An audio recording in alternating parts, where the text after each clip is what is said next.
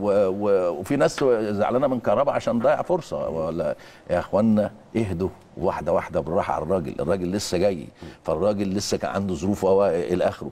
لكن لما ياخد بقى من من, من أول الماتش الدنيا هتمشي معاه. ما هو لعب ثلاث ماتشات أو أربع ماتشات جاب ثلاث اجوان أو جاب جونين ايا كانوا. يبقى الراجل هداف وشغال. فاحنا مش عايزين إن إحنا نضغط على اللعيبة. يعني لا خصوصا لعيب لعب. زي كهربا يعني. قدراته متفق عليها إن. إمكانياته عالية جدا. طبعا. العب لعبك. طب نفترض إن الجون ده جه في, في, في, في, في السودان. انت ضامن إيه اللي كان هيحصل؟ ما حدش كان ضامن إيه اللي, إيه اللي يحصل. المهم سلامة اللعيب في الآخر. ربنا مش رايد ان, إن, إن الجون يدخل. خلاص.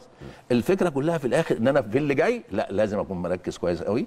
لازم أبقى أنا أتدرب أنا أعمل أنا تدريبات آه، لوحدي فردية على على على الجون على الانفرادات على إن أنا أشوط برجلي الشمال إن أنا أشغل الشمال. أنت يعني كهربا لو كان عدى من الراجل بشمالك جون خلاص. ال- ال- الموضوع خلص. نفس الفكرة برضو آه، عندنا برضو مهاجم أفريقي آه، أليو باجي. اليو- أليو باجي طبعا. لسه لسه لسه برضه هياخد برضه هو إضافة لفريق النادي الأهلي. آه، عندك مروان برضه شغال كويس وبيعمل شغل كويس وتكتيك كويس وبيعمل محطة. فده حاجة حاجة جميلة. في الآخر في الآخر الحكاية أنت حط خطتك على ايا كان هذا الفريق. أنت تكون درسه كويس جدا عارف إيه نقاط القوة ونقاط الضعف والعب عليه.